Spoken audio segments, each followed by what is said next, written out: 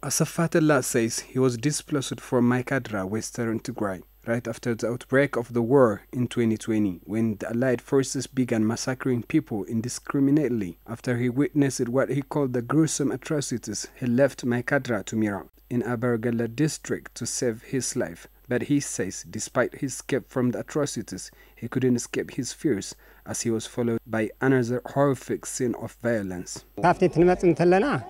ያው መጀመሪያ ሰራዊት ልዩ ኃይለ ምሓራ ወይ ድማ ፋኖ ዝበሃል ሽፍታ ኢሉ ወረረና At first Fano came and invaded us. They took everything, our clothes and properties. We survived, but most of our people died there. They were left unburied. Those of us who escaped the massacre first settled in Mirak in the district of Abergele. But the Amhara Fano and special forces followed us. They selectively killed ethnic Tigrayans. We were displaced three times from Maikadra to Mirak in Abergele and now to Finarwa. Asafa says despite his three times displacement, he still couldn't escape the brutal atrocities of the Eritrean forces as he witnessed the atrocities once again. He adds the IDPs are still suffering due to lack of enough attention, insufficient aid they badly demand. ሰራዊት ኤርትራ ማለት ሰራዊት ሻዕብያ ኣብዚ መፅኡ ኣብዚ ዓዲ ብዙሕ ግፍዒ ብዙሕ ወራር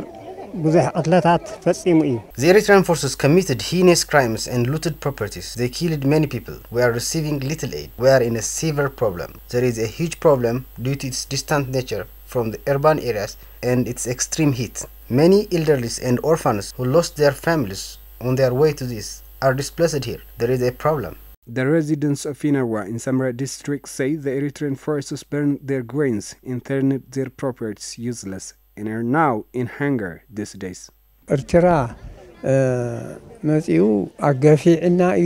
After the Eritrean forces came, they committed inhuman acts. They mistreated us. They spoiled the foods prepared to be eaten. They thrown it away. Many of us were suffering from hunger while they were making it out of use. We faced unspeakable problems.